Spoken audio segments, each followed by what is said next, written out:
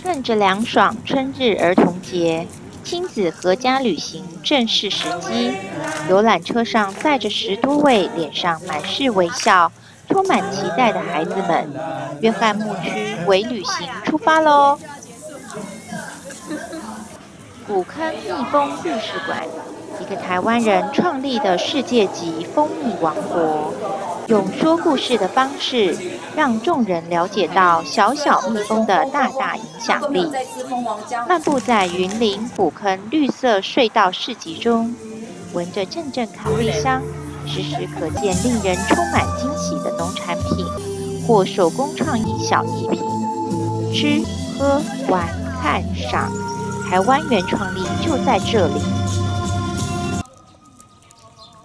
顶菜园，一个蕴藏着走过十年以上的社区营造故事。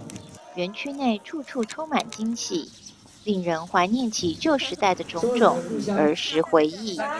翠绿的大草地上，孩子们开心地玩着童玩、喂小羊、摇着铁马，而大人们则人手一只抵押鞭或窑烤地瓜。看着墙上或柱子上有趣的标语，午后来到嘉义东石渔人码头，人工沙滩内挤满玩白沙的孩子们。广大的草地在过去就是海岸，大人惬意地看着满天风筝飞舞。